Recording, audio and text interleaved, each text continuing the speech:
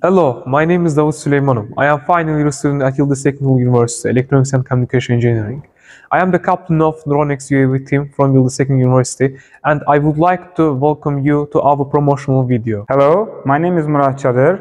I am a senior student in mechatronic engineering at Yıldız Technical University and I am the team lead of uh, mechanical department at DroneX UAV team. Hello, I am Kerem Tatlıcı, a computer science student at University of Pavia, proudly serving as a software team leader of Yıldız Technical University DroneX UAV team. Hello, my name is Rustam Muhtarov. I am a mechatronics senior at Yıldız Technical University.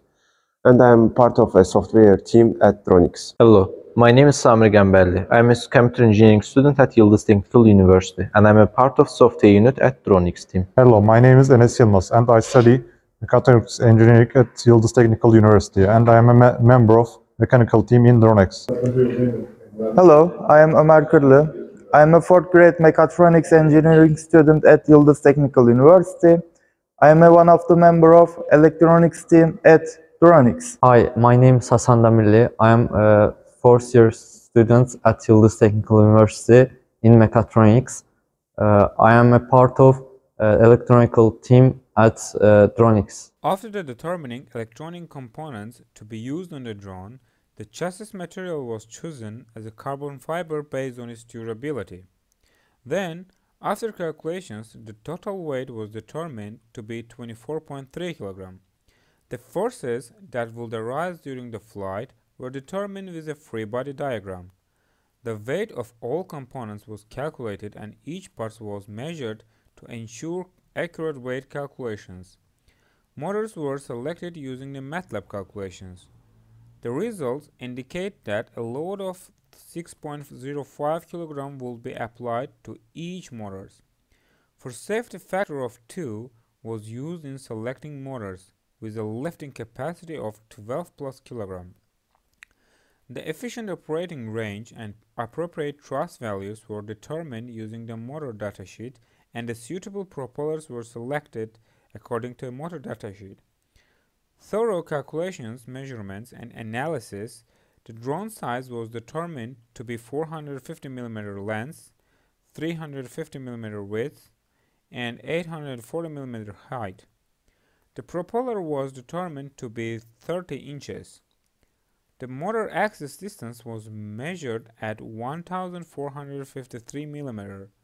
Static calculations were performed on the carbon fiber arms and their stress was determined to be 28 megapascal. The designs created through the calculations were analyzed and simulated using the ANSYS program to determine the strength and deformation that will occur in the main body design due to calculated forces.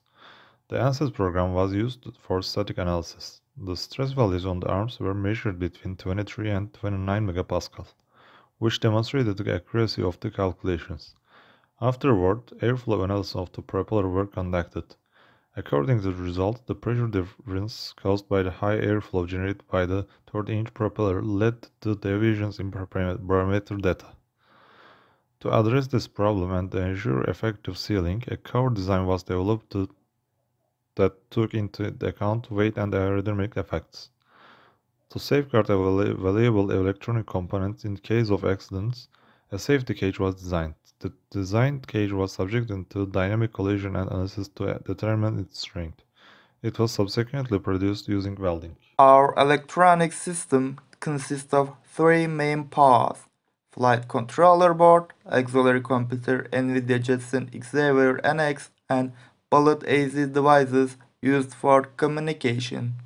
There are three batteries in our system. Two 6-cell batteries with a capacity of 22,000 mAh per hour are connected in series to form a single 12S 22,000 mAh per hour battery and are used to feed electric motors with propulsion system. Our third battery, 6S, has a capacity of 6200 mAh per hour and is used to feed auxiliary computers, communication devices, and other intermediate elements. There are three cards we produced in our system Exynos card, buck boost converter, and ground control station card. The Xenoboard is designed to control the airdrop mechanism. Our team is excited to present our algorithm for the SUAS competition. Our goal was to create a system that can search for objects and accurately drop an airdrop. Here's how our algorithm works. First, our drone used the YOLO v4 tiny model to detect if there is a human in your area. If there is, the drone drops the airdrop for the human. However, if there is no human present, our algorithm moves on to the next step. Our algorithm then uses image processing techni techniques to detect if there is a specific color present in the area. If there is, it checked if the color form a shape. We have defined the, a list of valid shapes that the color can form, such as circles, triangles, and rectangles. Our algorithm uses contour detection to find the shape and determine its type. Once the shape has been identified, our algorithm uses OCR, which means optical character recognition, to recognize the letter on the shape. We have defined a list of valid letters that can be present, which are uppercase letters and numbers. Our algorithm converts the letter to a string and then drops to airdrop at the location of the detected letter.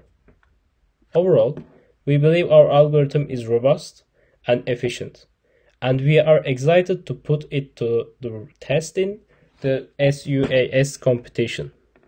Thank you for listening, and we look forward to showing you our system in action. Software codes of communication part has been written using Python socket library. Communication script consists of total three threads. Uh, and first of these threads was used to send telemetry information. The second one was used to encode or compress frame matrix and send it to the client. And finally, third thread was for voice recognition part. Compression algorithm that used to encode the frame matrix is called as base64.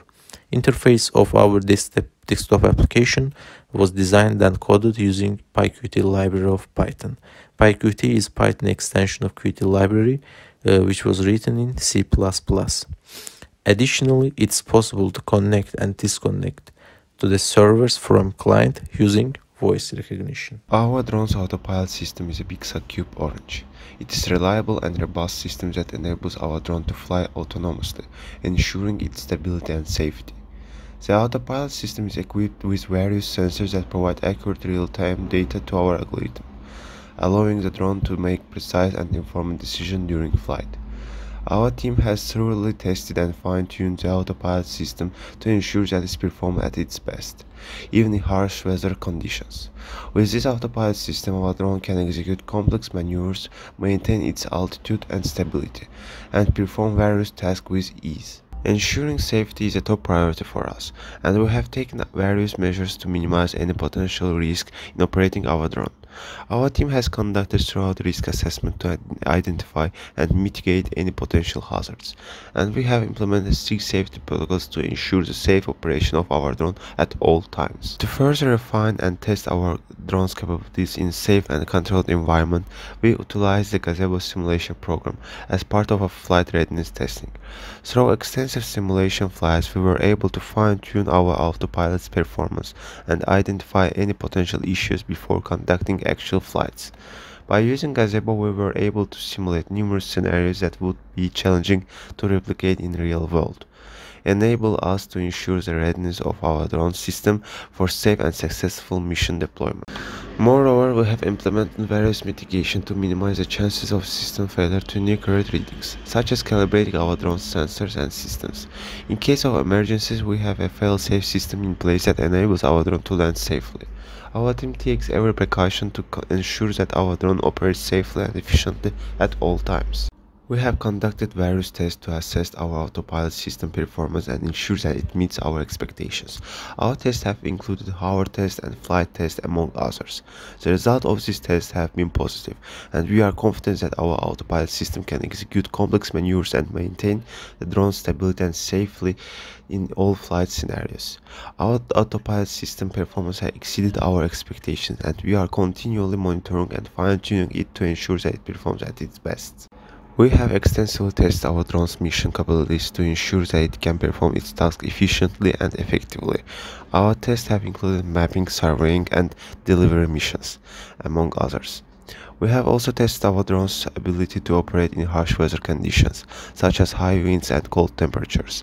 The results of our mission testing have been positive, and we are confident that our drone can execute its task with precision and accuracy. We understand the importance of proving that our drone operates safely and efficiently, and we have taken all necessary steps to do so.